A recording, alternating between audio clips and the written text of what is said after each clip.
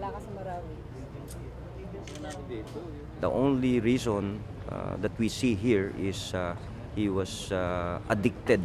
No, he was so addicted with uh, gambling in casino, inside casinos. So uh, that's it. It's, this has nothing to do with any terrorism or any terror act. Tingnan ko lang po yung Webes ng gabi. Ano pa po yung mga last moments na magkasama kayo?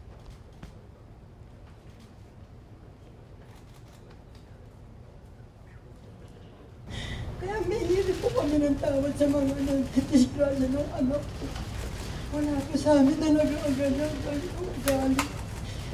Ano na po kami, ang, ang anak ko po na yung isa pong mabait na apat na anak sa amin.